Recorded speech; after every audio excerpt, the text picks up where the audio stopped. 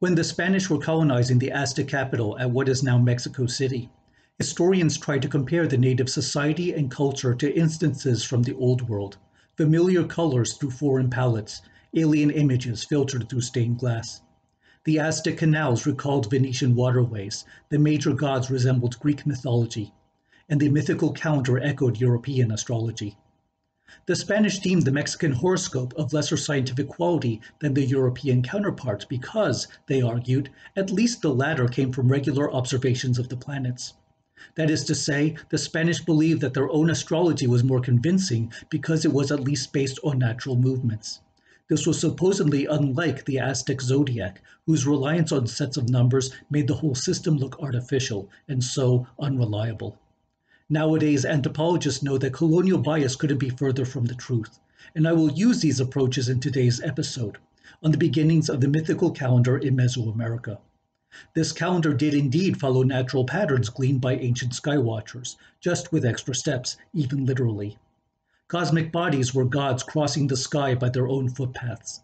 Especially important to the origins of the calendar were the Sun, Mars, and Venus.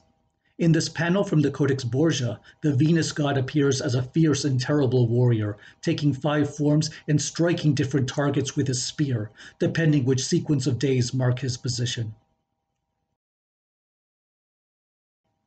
A planet's synodic period is the cycle of its path as observed from Earth. It will differ from the planet's actual year because it also includes Earth's revolutions, but synodic periods are regular enough to chart. Mesoamerican astronomers believe that this regularity was another of the many designs by which to measure the presence of sacred forces in the world. Ancient priests combined them to produce the calendar. The Venusian synodic period is 584 days. Multiplying this number by 65 yields 37,960 days. Using a math term, this is a lowest common multiple, with days counted from the solar year, the Martian period, and the 260 day mythical calendar itself. 37,960 was 104 solar years, assuming 365 days each.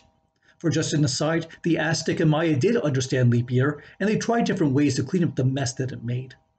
104 is also twice 52 years, an important cycle for the Aztecs that I will explain in the video on the calendar's ritual uses. This multiple is also the product of 146 times 260, the length of the mythical calendar round. And lastly, the Martian period has 780 days, itself a multiple of 260. If you watched the last video, you may remember the importance of the 20-day month, which many cultures combined with sets of 13 to produce the 260-day count. It was possible, for example, to name a day by a number from 1 to 13 and one of the 20 signs. I will unpack the meaning of this ritual cycle in the next video, which will look at how the Maya picked up the calendars. We are looking now at where and when they first appeared in Mesoamerica. To talk about the origins of the Mesoamerican culture area, we almost always consider the Olmec, who flourished between 1200 and 400 BC. The Olmec were not the only civilization of this period, but they became the most influential in the development of culture and society. I have highlighted the region in yellow, humid wetlands along the south coast of the Gulf of Mexico. The purple dot marks Tres Zapotes, an Olmec site that lasted for centuries after its contemporaries. From this site hails a stone monument broken into two parts. Read together, the five bar and dot numbers of this long count date represent a day from the year 31 BC.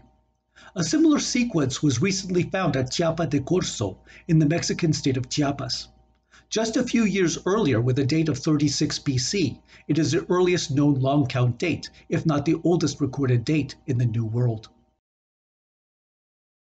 On the last embers of the Olmec civilization sparked new cultures looking to keep the old flames alive. From west of the Olmec crescent rose a distinct society called the Epi Olmec, literally after the Olmec, to follow them in both time and culture. The red dot at west marks La Mojarra, the site of a monument illustrating efforts to continue Olmec ideas and techniques. The La Mojarra stele displays a royal profile at left, and I write an impressive text written in glyphs. We will zoom into a part of the inscription featuring two dating systems, one above the other. a month sign, and then a long count date. They appear in the highlighted column. These texts were written in combined sequences of top to bottom and left to right, and so that is how we will read these figures. First is a knotted serpent perched atop a layered platform. This is a glyph marking the 20-day month in which the long count date fell. Below begins the long count with three dots over a five bar to count eight for the longest unit of time. Next is a single bar for five. The third position has three bars and a dot. 3 times 5 plus 1 dot makes 16. The fourth number has a bar and 4 dots. 5 plus 4 makes 9. And the fifth and final number has 1 bar and 2 dots for 7. The full sequence may be read as 8, 5, 16, 9, 7. The next video will explain how this works. An older reading of this date pointed to a day in the year 169 AD, but recent studies suggest earlier, by the year 156. While controversy continues over how to read these glyphs, one study of the text presents a couple important ideas. One, the king exercised spiritual power during a solar eclipse. Two, the power invoked the king's Nauwal, a companion spirit usually in the guise of a wild animal. This is a seminal concept in Native American shamanism, the subject for another video. Calendars therefore emerged in southern Mexico as a way to record the feats of kings and queens, often with reference to cosmic events. The dancing of gods in the sky revealed mythical episodes, which in turn added weight to political matters.